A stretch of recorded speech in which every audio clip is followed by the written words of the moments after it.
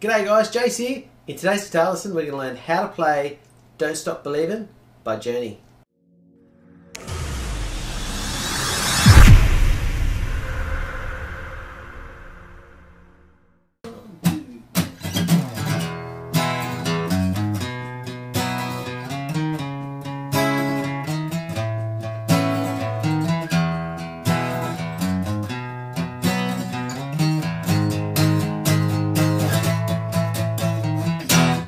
G'day guys, here. Let's learn Don't Stop Believing. Now before we get started, if you want to follow along with the lyrics and the chords, all you need to do is download the PDF from the link below and you can print out to your songbook or upload to your iPad. Okay guys, this is an awesome song. Um, the best news is there's only two parts in, uh, in the whole song. So quite easy to learn structure wise. Uh, but there are, I've got a version that um, you can play on the acoustic guitar uh, it may get a bit tricky, but I think you can handle it. Uh, so let's start with the main riff. Okay, let's do the main riff. Um, I'll go through it slowly to start out with. E. B. C sharp minor. A. E. B. G sharp, minor, then A, back to the E.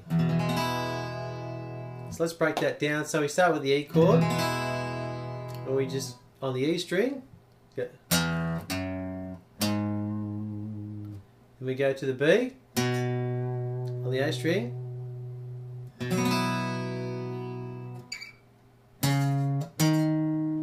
C sharp minor,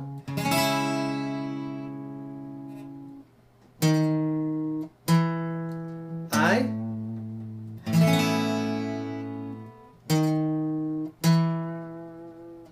Okay.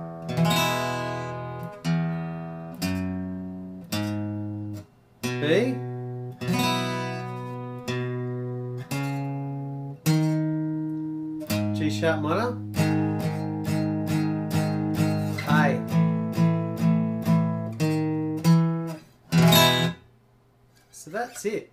Now you'll notice uh, when I'm saying B, it's actually like a B like that, and these two bottom strings are open.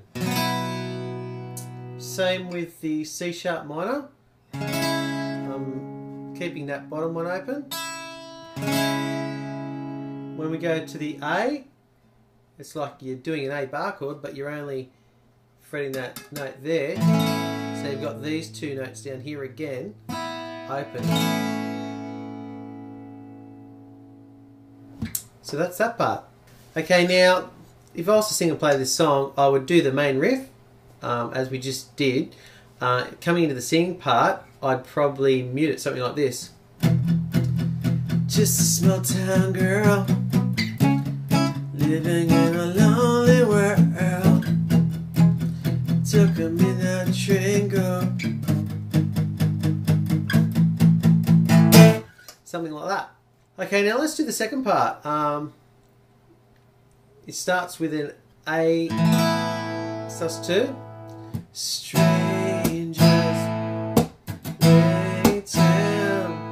Now you can go to E here.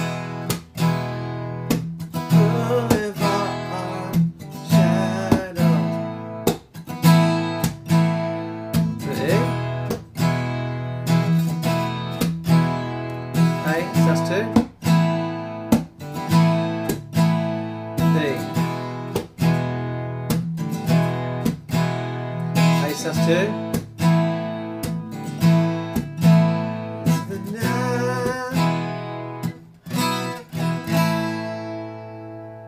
So essentially it's just A sus2 to E. The N bit, we go to B as we did before. E,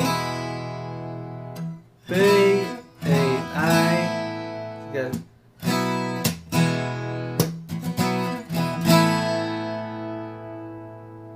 So that's the second part.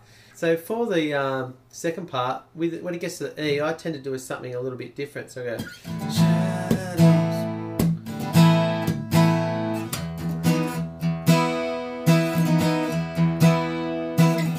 Because it gives a bit more interest and follows what the guitar's doing in the original song.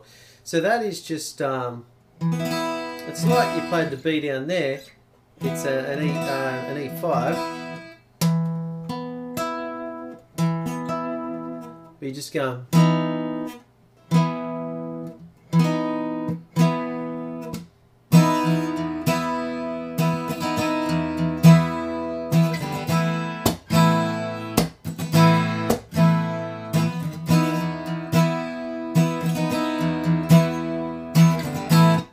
And that's it.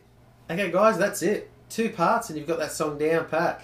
Um, great song. That you need that leading riff. That's why um, I like this version because you can play it with a capo, but you really need that um, leading riff um, for people to know what the song is in the beginning. Such a great riff.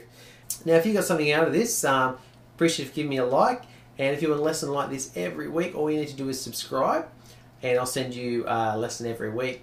Uh, thanks for stopping by. I really appreciate it, uh, and I'll see you next time. Yeah.